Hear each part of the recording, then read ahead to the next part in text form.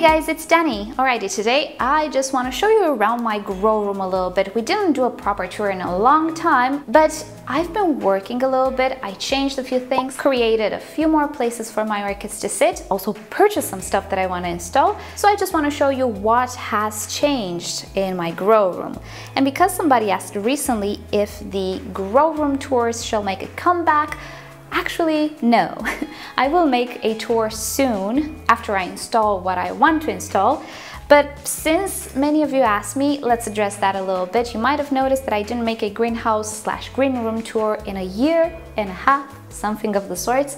And that's because I got bored of it. Being that I post videos every day, almost, I also make the what's in bloom every month, seeing the orchids that were in bloom and I didn't feature, I also have the requested updates and through the simple fact that I do upload orchid content on a regular basis, on a daily basis, I don't find the point of actually making a tour every single month. Orchids grow very, very slow. I don't think you're gonna see anything different, so I don't really see the point of actually making another filler type of video, let's call it like that. Also, I don't change my green room as often as to show you something new and spectacular every month. And because of all of this, it's really, really boring for me to film and to edit. It has become that way. And if it bores me to watch it while I edit it, I'm pretty sure there are a few of you guys who will get bored of it as well. So, you know, I wanna put the content that I kinda wanna watch out there. And if I don't wanna watch my orchids on a monthly basis, all of them, all of the collection, then maybe some of you will not want to watch it either. Does it make sense? So anyway, I don't consider my tours to be very fascinating at this point. I'd rather just show you about orchids, talk more about orchids, make stuff informative. But every once in a while, I do make a big change or I do change around my grow space enough to show it to you. And today is one of those days when I'm gonna show you what changed in the grow space. It's not a tour. Uh, the tour will come at some point, but here we go. So you remember this corner, maybe you don't, and PS, I'm still arranging and working on stuff. This is my western side of the grow space. That's the western window. And in here, I decided to extend my highlight places in the grow room. The IKEA stands are now used right here with my catasetum orchids or catasetum type, catasetinae to be politically correct. Somebody actually really disliked the fact that I call them catasetums, all of them. But hey, what to do, nobody's perfect. So the catasetum orchids are all here. They receive a little less light than cattleyas. Then I have a row of cattleyas here and right there in front I'm still using the old Vanda hanger, the IKEA one, and I just placed a few more Vandas there. The Vanda corner remained the same. I still have my double hanger here and I've seen it around in home improvement stores a lot. I've also seen it in some videos, I don't remember where. It was somebody from the USA, so I'm sure you can find this style of hanger at home improvement stores. It's really great for a bigger collection of Vandas because it has two bars and you can set the height. You can actually make them both equal or you can make one lower than the other. And you can see I have it in this setup, in this situation. So this is the west corner. I've also moved my epidendrums here that guy bloomed. He's orange, really exciting. Vandas pretty much all highlight orchids. And on my other IKEA shelves, again we have the highlight orchids, the ones that I believe will do better in natural light rather than artificial light. So up there, and yes, I'm not using my broken lens, the 50 millimeter. This one is one that actually has a zoom, it's just not as clear.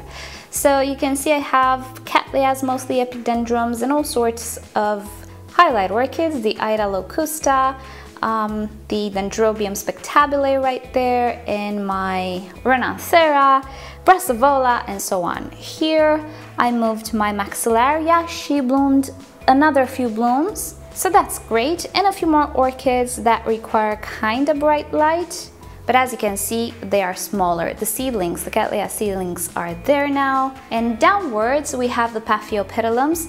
Somebody was a little shocked that I'm keeping Paphiopedilums in the southern window, but these actually require brighter light. The mottled leaves Paphiopedilums don't require that much light. These guys, they're doing very, very well. And PS, a little spoiler, my hybrid, what's it called? Doctor, not doctor, Judge, Judge Philip, yes. Judge Philip has a flower spike. Oh boy, isn't this a great uh, period for Paphiopedilums? The encyclias, you already know, they're back there, you cannot see them. Some dendrobiums in the front, and pretty much this is it. And on this side, as you can see, we have some empty shelves. Yes, we need to work on the shelves. Upstairs, we have my oncidiums. You can see a Sharry Baby in bloom there, smells like chocolate. Uh, I'm not sure if this side will remain like this, but they're all there at the moment. The Dendrobium phalaenopsis types. Usually this side receives direct sunshine, but right now the sun is super, super, super high. So at this point, it doesn't receive all that much light. For two or three months out of the year, I don't have all that much light here. So I'm just supplementing a little bit, but it's okay. The sun will go down in a month or two and we'll have light once again. And downstairs we have my Phalaenopsis species and a few mottled-leaved Paphiopedilums and also a Vanda that I need to repot. And here we have yet another IKEA stand where I placed a few more oncidiums. Yet again, this is a bright location, it just doesn't receive direct sunshine at the moment. It will in about two months, but for these guys it's pretty okay. Now comes the troubling side. So here are my Miltoniopsis. This will be a dedicated space for the cooler growers. It's on the floor where cool air sits. I will have a dedicated fan and my humidifier. I just need to work on it, dedicate some time to do it and there is some empty space there which will be filled with all of these orchids. Then moving up, oh my, this doesn't look right, does it? Well, yeah, I do have empty spaces on the shelf. I also have all sorts of orchids that look like they don't belong. They actually don't belong. I just put them there because I need to find a place for them. Problem with this shelf is, if you remember, I had an LED strip. Well, it's not there anymore, it burned. And also, I think you can tell even in the video, I don't have even light. I have this shade, light, shade, light situation that is not ideal. I also don't have light or all that much light on the edge of the shelf. And for this reason, I discovered that not many orchids prefer this shelf.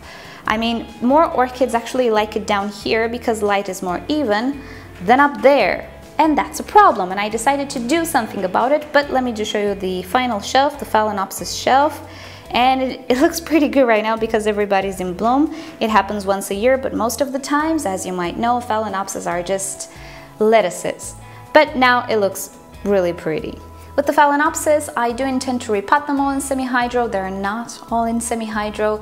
I think you already know the story with the dehydration in the clay pots. Long story short, the Phalaenopsis I need to work on, but I do believe this is where they will sit pretty much from now on. They really don't require a lot of light, and here they actually receive a little bit of direct sunshine in about two months as the sun is setting down. And also in the morning they receive a lot of bright light because I have a white building on the other side of my wall which reflects so much light in the morning. And for like four hours or five hours my greenhouse is all lit up but now with direct sunshine. Anyway, let's return a little bit to this corner, actually not corner, this shelf. It has become clear to me that I need to do something about the light uh, I never actually intended to grow strictly under artificial light Phalaenopsis and even Paphiopedilums, they do okay here. Problem is, I don't really have much low light plants. Most of my plants are cattleyas and warm growers. Now these warm growers actually prefer a lot, a lot of light. So being there helps no one. I cannot grow cattleyas in this uh, shelf, not because they don't do well under artificial light, but because I don't have sufficient light. And I also have the shade light, shade light unevenness situation.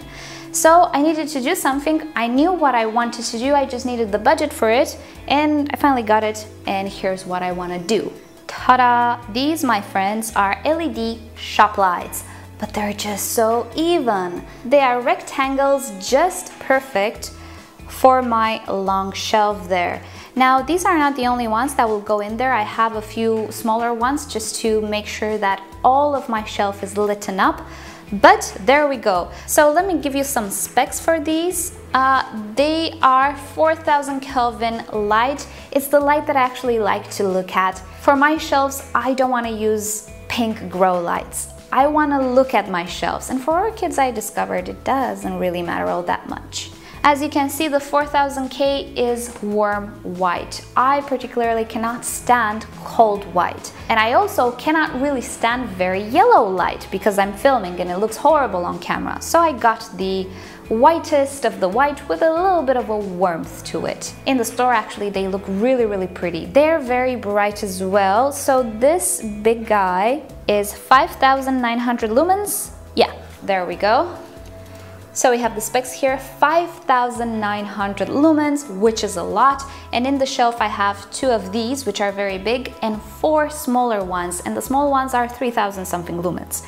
In almost four meters, I will have 12,000 lumens plus another 24,000 lumens. That's a heck of a lot of light.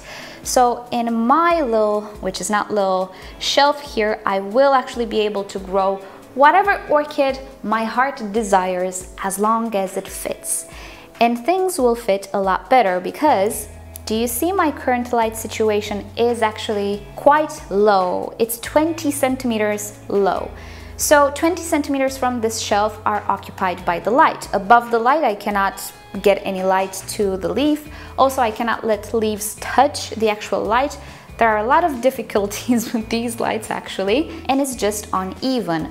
Well, with the shop light, which as you can see looks pretty seamless and I assure you in the store it looks absolutely beautiful, I will actually gain space on a vertical. And even if I will have taller plants here, they will receive a lot more light and will be a lot more suited because the light will just be further up. Now the light fixtures are actually 30 centimeters width and I have 40 centimeters width on my shelf, the upper shelf, which means that I will be able to place more orchids on the side. And I know the camera doesn't actually show it very well. In the nighttime, I would be able to show you a lot better, but I have this portion of my shelf, half of my shelf receives almost no light from my LEDs. It's just natural light and it's just not enough. So the width of these fixtures should be enough to deliver me light until the edge of my shelf. So this is the most exciting thing that I actually have planned and I cannot wait to install them and yeah, to move orchids around a bit. This room can actually hold a lot of orchids, which is great. But you know, light-wise, I don't have the most fortunate situation. It's okay though, things will change, and I do believe the light quantity overall will be sufficient for Cattleyas and other highlight plants on that shelf as well. And that's pretty much it. These are my, let's say, plans for the future. And when I install the fixtures, maybe I'm gonna do a complete tour then, although this video was a little bit like a tour, wasn't it? But anyway, these have been the changes that happened in my grow room recently. I was working on them for quite a lot of time and my grow space was never super super clean, but now I'm working on that as well. It's just so tiring. Remember I told you the other day that everything breaks? Well yeah, everything breaks lately, including my boyfriend. We actually ended up in the hospital the other day but don't worry, everything is okay. It's just, you know, not pleasant. Such is life. You cannot always have good stuff and happy, happy days. The important thing is to be optimistic, work, and do your best every day, I guess. So anyway, on that note, let us end it here. Thank you guys so much for watching. Hope you've enjoyed this little tour of my grow room and stay tuned for updates. And with that said, remember to like this video if you liked it, dislike it if you disliked it, subscribe to my channel for daily videos, regular updates and tutorials and all of those things. And don't forget to turn on notifications so you never miss a video, particularly because YouTube is apparently changing things once again and even if you're subscribed to a channel it doesn't mean you will see the videos in order of publishing. YouTube wants to arrange what videos you see according to algorithms. So keep in mind, I do post daily. Very rarely I don't post a day. But if you didn't see any of my videos for a few days, check back to my channel. Most probably I did post, but YouTube just didn't show you that I posted. So that said, I'll see you all next time. Bye.